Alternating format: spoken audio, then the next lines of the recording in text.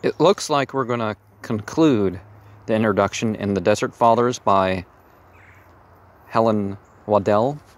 Well, I mean, she's the one that is rendering the translation.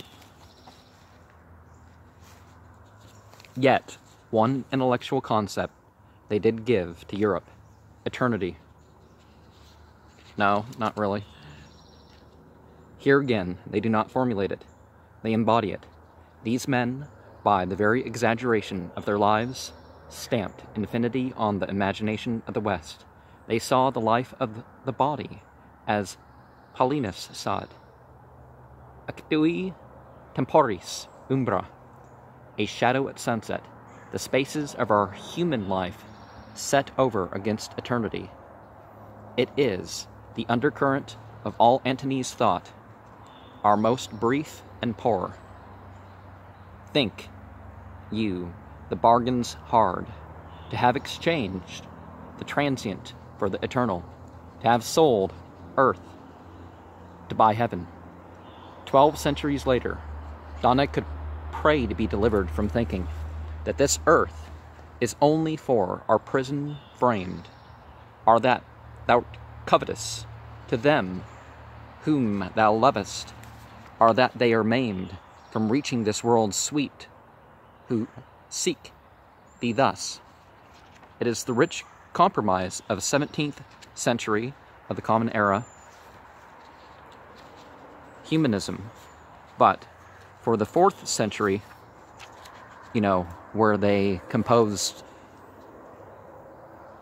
the Bible in Greek and then they rewrote it after towards the end of the century, um, I think in the 70s, so the 30s and the 70s or something like that, um, with more mentions of Christ. But um, the king, uh, but for the fourth century, the kingdom of God was still the pearl of great price, hidden in a field, for which a man must sell all that he had if he would buy that field.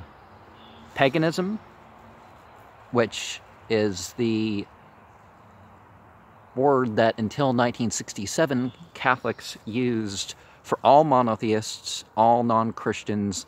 It had nothing to do with the pagan, Gentile, heathen words in a literal sense, but they said that it was daylight.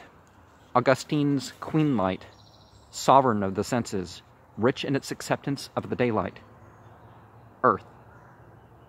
But Christianity came first to the world as a starlit darkness into which a man steps and come suddenly aware of a whole universe.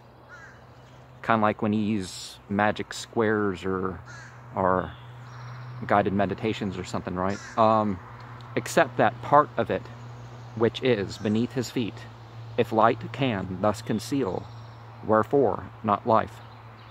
Experience was to bring compromise, the alternation of day and night, the vita mixta of action and contemplation, wherein, says Augustine, the love of truth doth ask a holy quiet, and the necessity of love doth accept a righteous busyness. But the desert fathers knew no compromise.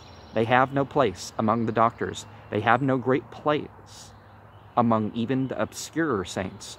But the extravagance of their lives is the extravagance of poetry. Nel mondo ad ora ad ora ma in segnavate cum uam sa eterna.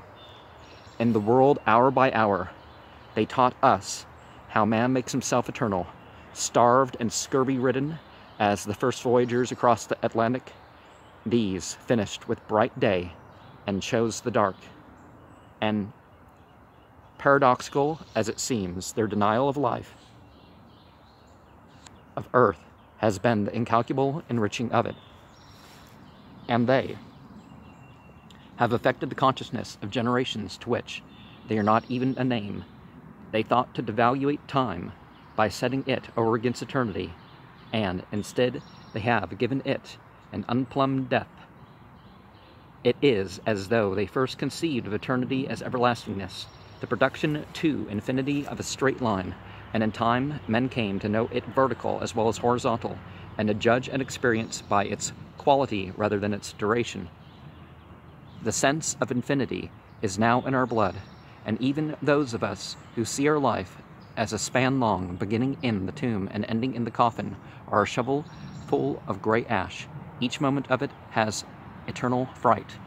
Now, before I get into the poem that follows, isn't that what the whole Faustian pact thing is about? Um, wanting, uh, turning to Me uh, Mephistopheles instead of God for an experience, and you're willing to give your life for that experience. Um,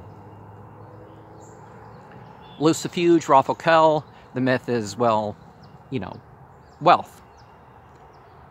And, oh, what's, what's the other one, right? Um, un punto, sola e magior letargo. One point of time hath deeper burdened me than all the centuries that have forgotten how Argo's shadow startled first the sea. The sacula sine fin ad requiescendum, the ages of quiet without end, have been transformed into the Boethius definition of eternity, that which encloseth and possesseth the whole fullness of the life everlasting, from which the knot of the future is absent, and not of the past hath flown away. Not one of the desert fathers could have conceived it. They might even have denied it as her a heresy, yet the mind of man moved a stage nearer to it with each moment of the ravaged lives. Now, I guess I should turn towards the Index, but um, what did Christianity bring? Um, yeah, just a bunch of quotes here. Um, uh, I mean, where the quotes are from. Um, on page 4, Nolit quaso virtus qua in nobis est mentum tantum retribuit humanum vita b ant is it Antony uh, 15 and page 7 we have a quote O Roma nobilis orbis et domina cunctarum urbium excellentissima ratio martyrdom sanguine urbea albis et virginum liias candida. On page 8 we have the quote squalet lucifugis insula plena virus.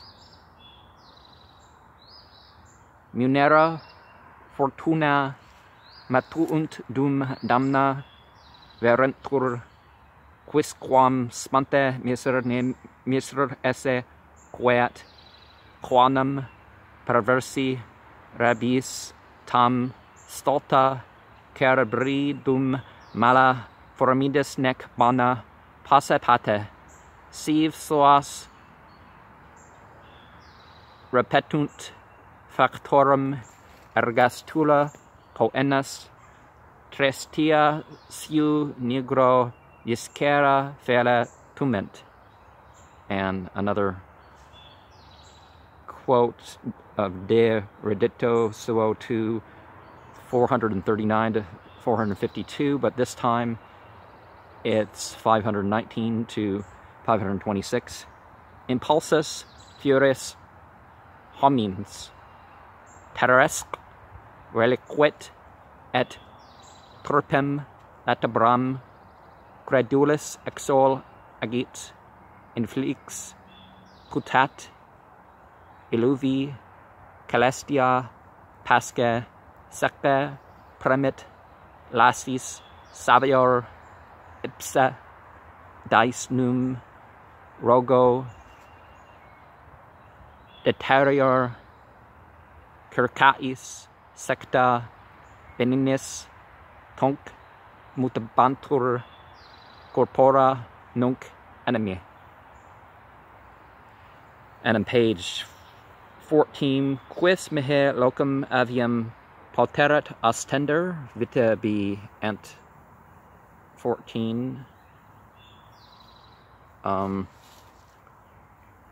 and Theodosius said, Filias suas traditit non ut imperator sed liberorum attac populorum loco habendas.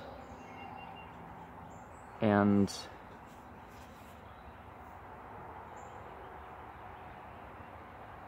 page 12, we have longa esperima squalida et plain arida hist laus 2. Um, and we go on to 23 where we have from De Division Natra, volume 25, PL 122, 912, et lux inaccessibilis accessum prabuit in ipso omnia visibilia et invisibilia hoc est sensibilis et intelligibilis mundus restauranta inc unitatem ineffabilum revocata sunt. And from Paradiso 33, 94 to 96, we uh, find in page 25, un punto sala me e magior letargo che mentisic secoli alla impresa cefe notturno emerar le ombra de argo. Uh, 24, we have Atium Sanctum Quaret Charitas Veritatis Negotium Uistum Suscipit Necessitatas Caritatis from Augustine Civilii 1919 Cum Humana Vid Spatia Trinitati Comparata Bravissima Sint et Parva Vita Okay. Um, so that's that's it with that. Um, but one thing we need to consider um, is Christianity just changing the names and you know putting their saints and stuff to replace that sort of thing. Um, certainly, for the most part, unlike um, some faiths where the strongest numbers were in places where you didn't have, um, you know, you didn't have the rural. You just had people going there, living their lives as as economically and stuff. Um, Christianity was largely forced upon Europe, and you know some of the so-called gods and goddesses got relisted as saints. But if you look, uh, uh, the continental divide at some point, they just said, you know, because it does make sense to include the Afghanis and the Persians as part of Europe, and then on the other side you have the the Hindus. Um, so you had the Slavic culture, you had the Teutonic Celtic culture, you had the Greek culture, the Roman culture, and the Norse culture as these dominant cultures that existed. Now, if you look at all that, why? Uh, uh, uh, what's what's new? You know, it's it's a good point. Any good or truth, or just something that's labeled as something that Christians brought or established. What do these so-called pagans? Oh, and of course there was the of course there was the um, the uh, you know the Persian culture, um, which kind of flipped the other way. That's why they said, okay, Persians are the Semites. They're not usually Christian, so we're gonna put them as a different thing. But the Semites, for the most part, okay, you know, like the continental divide on some maps is up by Turkey. So Syria and Israel and all that were, are, are listed under Africa, and Turkey and onwards is Europe, but and I, I kind of get that, but not including Persia as part of Europe. There's just a whole bunch of reasons why that just doesn't make sense. But again, it's it's a religious divide. It's dividing the Christians. You know, okay, we'll call them Caucasoid. You know, the, the brown-skinned people here and the uh, and the uh, dark-haired but lighter people, um, you know, the Persians, um, are the Iranians is probably more historically accurate. Some people like one title more than another. That's, you know, take your issue with that as you will. Um, because the Greco-Roman culture doesn't it does include the the branch where you could say um, Turkey, um, because Turkey is um, the the philosophy and stuff that we know the Greeks for. A lot of that actually started in the Turkey area, but I'll find something where I can share that more cohesively.